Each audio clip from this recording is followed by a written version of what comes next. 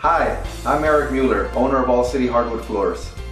Since 1999, All City Hardwood Floors has not only been creating beautiful floors, but excellent customer service as well.